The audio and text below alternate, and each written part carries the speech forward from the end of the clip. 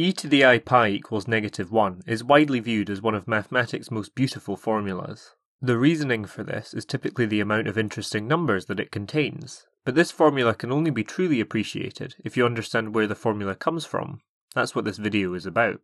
Our story starts with the polar form of a complex number, that is, a complex number described by some distance from the origin and an angle with the x-axis. They can be expressed with this formula, but for our purposes we're only concerned with those numbers that lie a distance of 1 from the origin. That's all the numbers that lie on this unit circle. The problem with this formula is that it's difficult to use. It's difficult to compute because you need to find both the sine and cosine of a given angle. Further, this formula provides no hints to some of the important properties polar coordinates possess, in particular, the fact that multiplying them together has the effect of adding up their angles. That's why a 90 degree rotation squared equals a 180 degree rotation. Because of this, mathematicians started looking for a shorthand for the polar coordinate formula. They noticed that the multiplication leading to adding property was shared with the exponential formula, so they reasoned that a shorthand could look like this, some exponent to the power of i times theta. If this feels like an unnatural step, consider the way that exponents were extended to handle square roots. It was done so by maintaining the multiplying leads to adding the exponents property. This left mathematicians with two questions. First, how do we compute some exponent to the power of i? You can't multiply things together i times.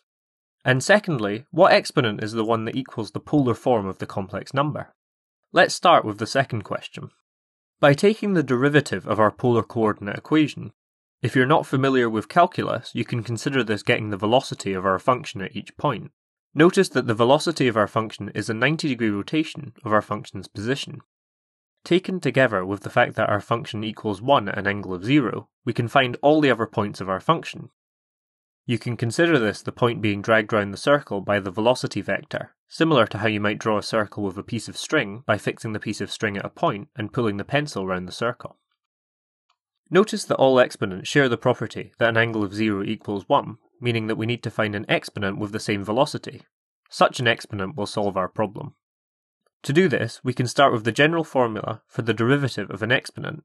You can see that the exponent we need is the one where the natural log of that exponent equals 1, Therefore, we can say that our exponent must be e, so the shorthand is e to the i theta.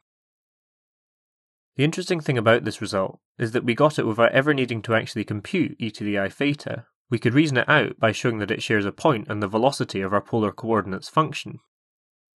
Now then, we should try to compute this function. We start off with a different definition of e, the compound interest definition. To start with, consider what happens to £1 in a bank account with an interest rate of 100% paid out once a year. The question then is what happens if we pay out the same interest rate but twice in the year? Or what about three times? Notice that as the amount of times we pay out increases, we seem to approach some value. This value is called e. Now, by doing some rearranging, we can get a formula for e to the x, and we can substitute in i theta to get our equation. You can see here that we're substituting in an angle of pi and seeing what happens as we approach our limit. The result approaches negative 1. This is really what mathematicians appreciate about e to the i pi equals negative 1.